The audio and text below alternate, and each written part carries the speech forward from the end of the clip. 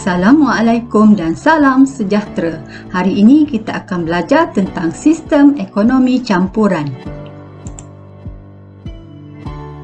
Di dalam video sebelum ini, kita telah belajar tentang ciri-ciri sistem ekonomi pasaran bebas dan sistem ekonomi perancangan pusat. Jadi kali ini kita fokus kepada ciri-ciri sistem ekonomi campuran. Kelemahan-kelemahan yang wujud dalam sistem ekonomi pasaran bebas dan sistem ekonomi perancangan pusat telah menyebabkan wujudnya sistem ekonomi campuran.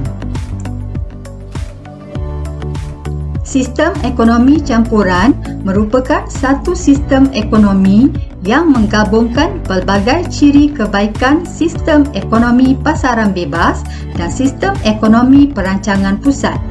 Dalam sistem ekonomi pasaran bebas, masalah asas ekonomi diselesaikan oleh mekanisme pasaran. Manakala dalam sistem ekonomi perancangan pusat pula, masalah asas ekonomi diselesaikan oleh kerajaan. Jadi di dalam sistem ekonomi campuran, pihak kerajaan dan kuasa pasaran atau mekanisme pasaran bersama-sama memainkan peranan penting dalam menyelesaikan masalah asas ekonomi. Di dalam sistem ekonomi campuran, kerajaan akan campur tangan jika berlaku ketidakstabilan dan penyelewengan dalam aktiviti ekonomi. Berikut adalah tujuan campur tangan kerajaan dalam ekonomi. Yang pertama ialah membekalkan barang awam seperti uh, hospital awam dan sekolah kerajaan. Yang kedua, menstabilkan ekonomi supaya tidak berlaku inflasi atau kemelesetan. Yang ketiga, merapatkan jurang pendapatan antara golongan kaya dan golongan miskin. Yang keempat, mengurangkan kesan externality atau kesan luaran seperti pencemaran. Seterusnya, mengawal harga barang dan perkhidmatan dan melaksanakan program ekonomi awam. Kita lihat pula ciri-ciri utama sistem ekonomi campuran. Yang pertama, pemilikan faktor pengeluaran. Individu dan pihak swasta bebas memiliki faktor pengeluaran seperti buruh, tanah, modal dan usahawan.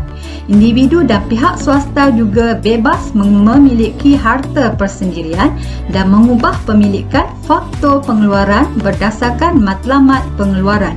Namun terdapat faktor pengeluaran tertentu yang hanya dimiliki oleh pihak kerajaan untuk mengeluarkan barang awam. Kerajaan juga mengawal pemilikan faktor pengeluaran melalui undang-undang dan peraturan untuk menjaga kebajikan masyarakat. Ciri seterusnya ialah penentu kehendak. Pengguna dan pihak pengeluar berhak dalam membuat keputusan ekonomi untuk menyelesaikan masalah asas ekonomi seperti apa yang hendak dikeluarkan, berapa hendak dikeluarkan, bagaimana hendak dikeluarkan dan untuk siapa dikeluarkan. Pengguna mempunyai kuasa untuk menentukan corak permintaan barang dan perkhidmatan Pengeluar pula bebas bersaing dalam pengeluaran barang ekonomi untuk memperolehi keuntungan yang maksimum. Kerajaan akan membuat keputusan dan mengeluarkan barang awam yang tidak dikeluarkan atau tidak mampu dikeluarkan oleh pihak swasta. Pembuat pilihan Individu bebas dalam membuat pilihan terhadap barangan yang ingin dibeli berdasarkan kemampuan dan juga bebas memilih jenis pekerjaan yang ingin diceburi. Pengeluar bebas dalam pemilikan dan penggunaan faktor pengeluaran untuk mengeluarkan barangan yang memaksimumkan keuntungan. Pengeluar juga bebas memilih teknik pengeluaran yang paling cekap untuk meminimumkan kos pengeluaran. Kebebasan individu dan pihak swasta dikawal oleh kerajaan melalui undang-undang dan peraturan. Kerajaan akan memilih teknik pengeluaran yang memaksimumkan kebajikan masyarakat. Penentuan harga Harga barangan ditentukan oleh mekanisme pasaran dan kerajaan terdapat persaingan untuk mengeluarkan barang ekonomi tetapi tiada persaingan untuk pengeluaran barang awam. Motif pengeluaran pihak swasta bermotifkan keuntungan dan kerajaan bermotifkan untuk memberi kebajikan maksimum kepada rakyat. Antara negara-negara yang mengamalkan sistem ekonomi campuran ialah Malaysia, Thailand dan Singapura. Seterusnya kita cuba menjawab soalan yang berkaitan dengan sistem ekonomi campuran. Soalan pertama diberi sistem ekonomi dan ciri-cirinya. Kita diminta untuk memilih padanan yang betul. Jawapan B adalah tidak benar kerana perkataan tiada. Sebenarnya kapitalis atau sistem ekonomi pasaran bebas ada persaingan dalam pengeluaran barang. Jawapan C juga salah kerana perkataan bebas. Sebenarnya perancangan pusat, individu dan pengeluar tidak bebas mengumpul kekayaan. Jawapan D juga tidak benar kerana perkataan halal pengguna bebas memilih barangan yang halal adalah ekonomi Islam. Jadi jawapan yang benar ialah A iaitu pasaran bebas, harga ditentukan oleh mekanisme pasaran. Soalan 2. Apakah sistem ekonomi yang diamalkan oleh negara A dan negara B? Negara A diberi kerajaan mengeluarkan barang yang tidak dapat disediakan oleh pihak swasta. Ini adalah sistem ekonomi campuran. Negara B, kerajaan menentukan barang untuk keperluan rakyat. Ini adalah sistem ekonomi perancangan pusat.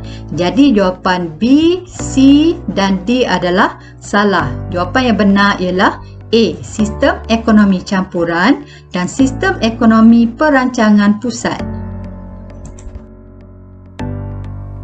Soalan 3. Maklumat di bawah berkaitan dengan ciri-ciri suatu sistem ekonomi. Harga barangan ditentukan oleh mekanisme pasaran. Kerajaan mengawal ekonomi melalui cukai dan subsidi. Kita perhatikan di sini terdapat mekanisme pasaran dan kerajaan. Jadi jawapan A, C dan D adalah tidak benar. Jawapan yang sebenar ialah sistem ekonomi campuran. Soalan 4. Kerajaan Malaysia telah campur tangan dalam aktiviti ekonomi dengan mengenakan cukai dan memberi subsidi. Apakah tujuan kerajaan mengenakan cukai dan memberi subsidi? Kita telah belajar tadi, Malaysia mengamalkan sistem ekonomi campuran.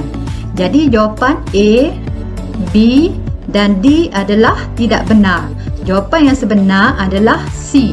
Kerajaan campur tangan untuk menyelesaikan masalah ketidakadilan dalam agihan pendapatan.